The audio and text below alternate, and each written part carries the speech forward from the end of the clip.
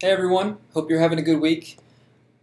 So, um, I mentioned this before, I wanted to make a video, and uh, so I'm making it now for you guys. Um, I recently started a project, or about a couple months ago I started working on some designs, and had the inspiration to work on some t-shirt designs.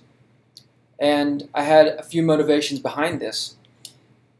So this video is to explain to you what I'm doing and why I'm doing it. This, uh, this project I put together is called Represent Christ Tees. And uh, I'm starting off with five simple designs focused around five different uh, passages, Bible verses. And here are the reasons why I believe it's important for us to wear these t-shirts um, and represent Jesus out in the world wherever we go. So, as Christians, we are part of the Great Commission to share the love of Christ with the world and to share the gospel with people around us. Um, this is evident in many scriptures, but one is Matthew 28 18 through 20, which reads, Go therefore and make disciples of all nations, baptizing them in the name of the Father, and of the Son, and of the Holy Spirit teaching them to observe all things that I have commanded you. And lo, I am with you always, even to the end of the age. Amen. So, this was not Jesus just talking directly to the apostles, um, and it just ended there, but it, it continues on into this generation. It's, it's our job as Christians to share the love of Jesus Christ with other people and to give other people the hope that we have.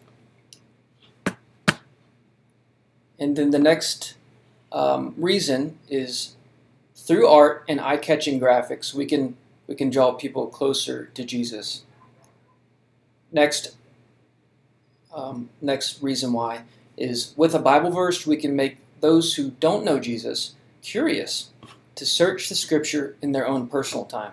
So maybe someone sees the Scripture, they feel nervous, they don't want to ask you, but it might be on their mind, and maybe they'll just look it up later and and be curious enough to open up the Bible and start reading.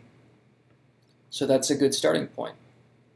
Uh, number four, we can start a conversation with someone seeking something and someone greater, opening up an opportunity to witness to someone who is not saved. Five, we can sow a seed with a person in a way that feels natural, unforced, and, and in a creative way. Um, you know, so the Holy Holy Spirit can work in that person once we, uh, you know, share Jesus with them. So um, I've got those reasons listed on each of the the T-shirt Etsy pages, and um, I'll include the link on this video. But you can find it at uh, www.etsy.com slash shop slash represent Christ. Um, I want to mention that this is not about the money. It's about, uh, you know, I as an artist, I want to draw. I want to give thanks to God through through my work, and not only that, but to uh, to share and to to share Jesus with others through my work, and um, not only with non-believers, but to embolden you guys, to embolden other Christians. And um, so we can, you know, start somewhere. If we, if we as Christians don't know where to start, this is a good small step toward that goal of sharing Jesus with someone out in the world who might be perishing, someone who currently doesn't have the hope of Jesus Christ. So, um, hope you guys might buy one of these t-shirts.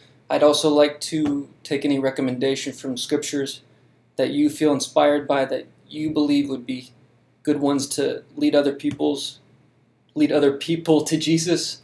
And um, yeah, I'll be working on some new designs and uh, different art styles. Right now, this is a simple white line work art style with um, fonts focused uh, on Bible, Bible scripture, but I'll probably do some other more colorful uh, designs. So thank you guys for guys for watching, um, and have a good rest of your week and a good weekend. God bless.